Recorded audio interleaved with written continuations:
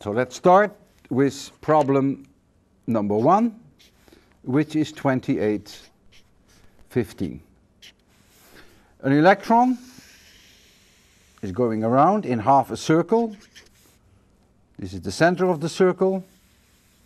I call this point A, and I call this point D to avoid confusion with B.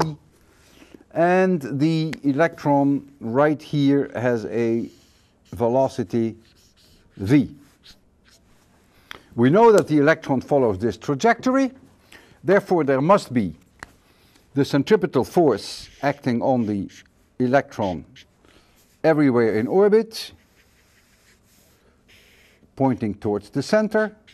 The direction changes, but the magnitude does not change.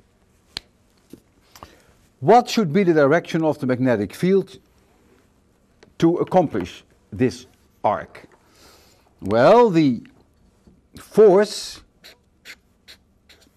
equals Q times V cross B.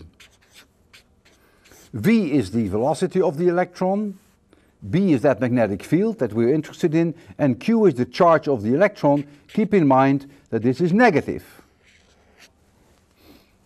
Well, when you take that into account, it will not be too difficult to convince you that the only way that this could happen is if the magnetic field, which you're being told is uniform everywhere, otherwise it wouldn't go through a perfect circle, by the way, is perpendicular to the paper and it's in the paper.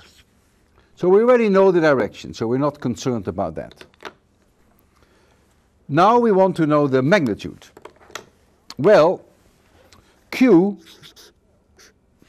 times V cross B, but I can really write VB because the cross product implies the sine of theta, theta being the angle between the velocity and the magnetic field, but that is 90 degrees, so that is 1, so I don't have to worry about that.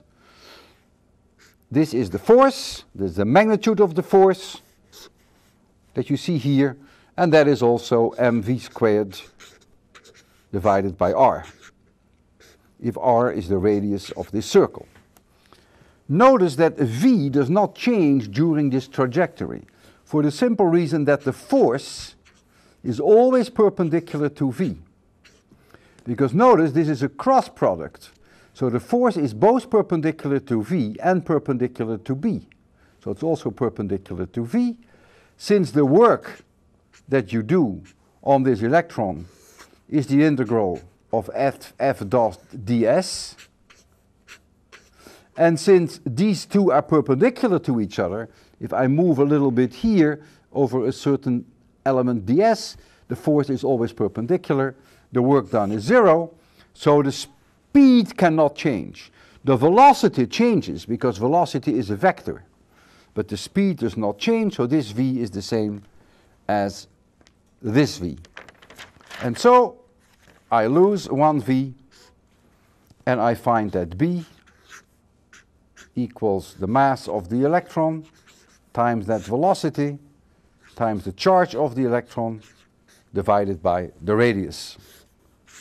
Since I know the mass of the electron, I know the velocity, I know the charge, and I believe I know the radius, you can calculate the magnetic field, and we already argued that it is pointing down perpendicular to the paper.